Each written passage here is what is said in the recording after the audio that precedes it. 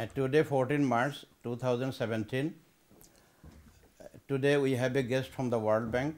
Uh, he is Mr. Koen Geven. He is education specialist of the World Bank Group. Uh, he is visiting our university on a mission.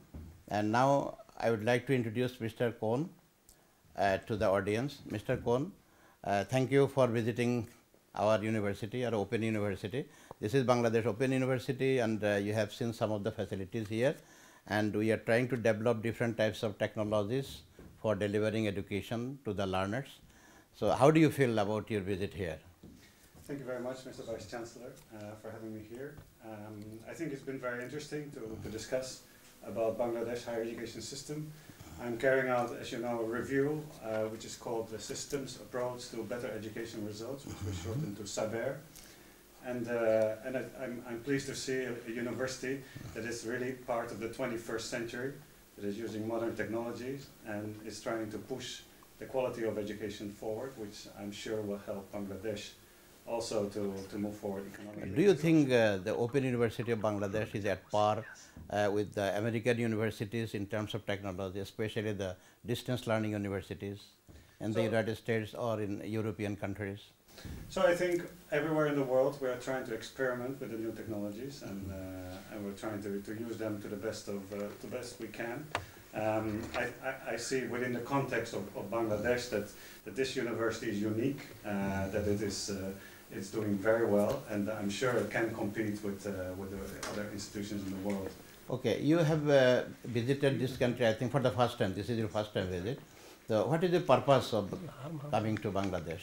So I, I came to Bangladesh uh, to talk with uh, many education leaders, um, with leaders of universities as well as with, uh, with political leaders, um, to, to discuss the, the higher education system and what are the systemic constraints to, to moving it forward. So I'm, I'm looking at the, the governance of universities, I'm looking at the financing of universities, I'm also looking at the, the way that quality is assured. Uh, because for the World Bank, uh, as, as you know, we are very committed to, to supporting higher education. But sometimes we see that, uh, that some of the, uh, the parameters at the governance level should be changed Mm. alongside with, uh, with our project. So, do you think that uh, open and distance learning in the context of Bangladesh is useful for our population?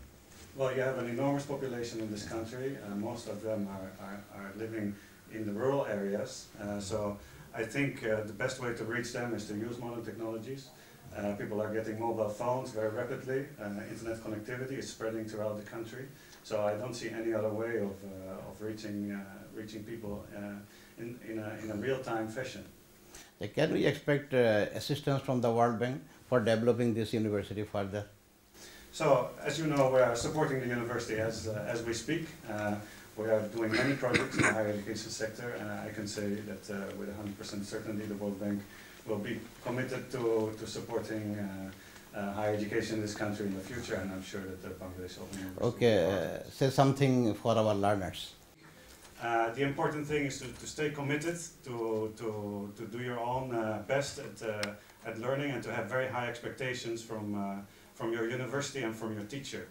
Um, your teachers are, are trying hard, uh, but they also have to, they also have to learn uh, and, and, and they have to deliver uh, new ways of, uh, of, of pedagogy. So if you tell them that, that you demand more and that you expect more, they will also improve and, and so will the, the university as a whole. Thank you very much for visiting Bangladesh Open University. Thank you very much for having